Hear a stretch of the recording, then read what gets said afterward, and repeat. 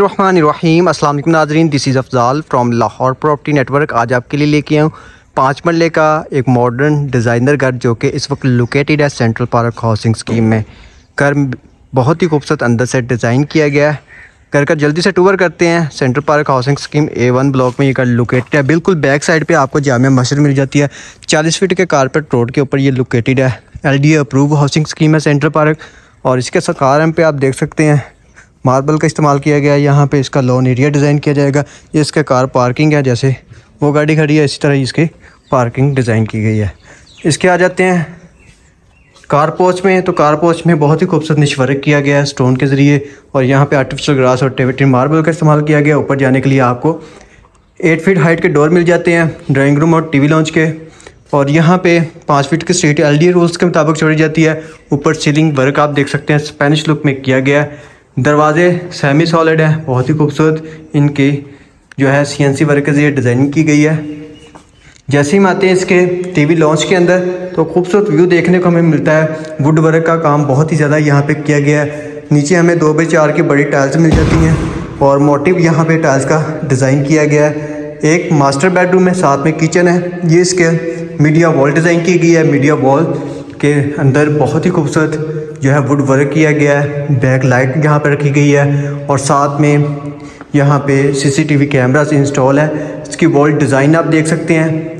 ऊपर ceiling work की बात करें तो यहाँ पे दो चैंडलर इंस्टॉल किए गए हैं। दरमियान के अंदर एक फ़ैन इंस्टॉल किया गया ड्राइंग रूम और सेप, को सेपरेट किया गया है टी वी लॉन्च से वुड वर्क के ज़रिए और यहाँ पे ग्लास का भी इस्तेमाल किया गया है। ड्राइंग रूम को सेपरेट बाहर से सज देगी डोर देख सकते हैं वेंटिलेशन के लिए बड़ी विंडो मिल जाती है। और ये इसकी वॉल डिज़ाइन ऊपर सीलिंग वर्क स्पेनिश लुक में आपको मिलता है। ये इसकी सेपरेशन देख सकते हैं आप। दूसरी तरफ़ से यहाँ पे ग्लास के जो है कवर्स रखी गई हैं, जहाँ पे आप अपने खूबसूरत सी चीज़ें रख सकते हैं। टीवी लॉन्च का अगेन व्यू कर सकते हैं। चलते हैं हम इसके मास्टर बेडरूम में। तो आप देख सकते हैं खूबसूरत व्यू यहाँ पे इसकी बेड वॉल डिज़ाइन इसी के साथ ऊपर सीलिंग वर्क सीलिंग स्पेनिश और थ्री डोर सेक्शन के अंदर यहाँ पे वार्ड्रोप्स मिल जाती हैं, वेंटिलेशन के लिए विंडो सेफ्टी ग्रिल के साथ हमें मिलती है। साथ में इसका अटैच बाथ बाथ में बहुत ही खूबसूरत इसी के फुल वॉल टाइल का इस्तेमाल किया गया। यहाँ पे कमोड की ऑप्शन मिलती है, शावर एरिया डिज़ाइन किया गया और यहाँ पे इसकी एक बड़ी वेंटी इंस्टॉल की गई है, ऊपर टच मिरर का इंस्टॉल है। वेंटिलेशन के लिए विंडो और एग्जॉस्ट फ़ैन यहाँ पे इंस्टॉल है। यहाँ से चलते हैं हम इसके किचन के अंदर। ये इसका नीचे पाउडर रूम एरिया डिज़ाइन किया गया। ये इसका किचन है। किचन में कबर्स मिलती हैं हमें, खूबसूरत सीट के अंदर। अपर और लोअर बर्नर किचन हुड यहाँ पे इंस्टॉल कर दिया गया है। वॉल के ऊपर खूबसूरत टाइल और यहाँ पे इसका डिश वॉश वेंटिलेशन के लिए विंडो बैक पे देखेंगे तो यहाँ पे आपको जामिया मस्जिद बिल्कुल वॉकिंग डिस्टेंस पे मिलता है। ये इसका बैक की पाँच feet street L D rules के मुताबिक छोड़ी जाती है। ऊपर सीलिंग वर्क देख सकते हैं इस रूम, किचन का। यहाँ से हम चलते हैं इसके फ़र्स्ट फ्लोर की तरफ़। फ़र्स्ट फ्लोर के ऊपर हमें दो बेडरूम की ऑप्शन मिलती है। रेलिंग आप देख सकते हैं, वुड और ग्लास की की गई है। स्टेप लाइट का इस्तेमाल किया गया, मार्बल का इस्तेमाल किया गया सीढ़ियों के ऊपर।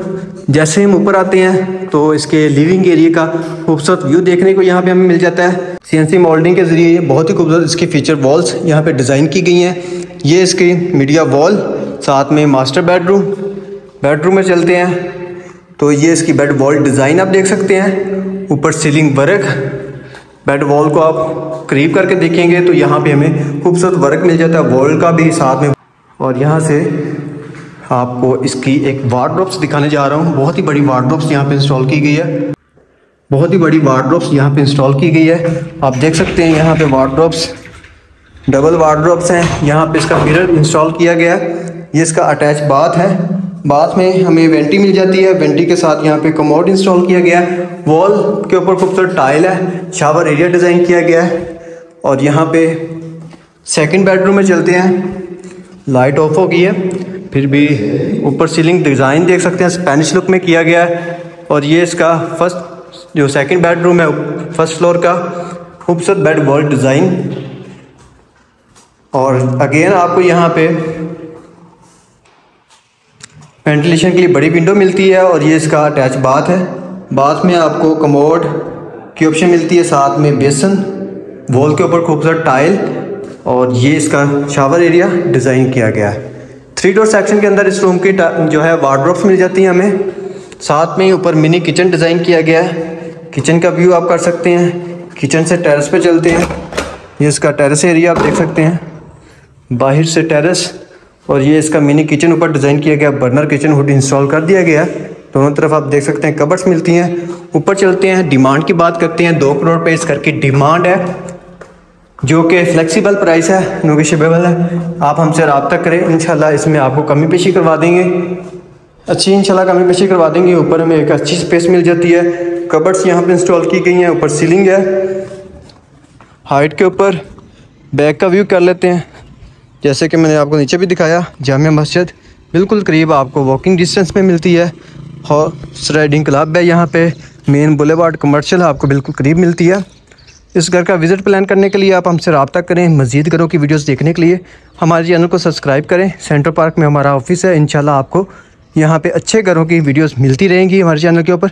आप हमारा चैनल ज़रूर सब्सक्राइब करें मज़ीद वीडियो के लिए। मिलते हैं नेक्स्ट वीडियो में। अपना बहुत सारा ख्याल रखिएगा। अल्लाह हाफिज़।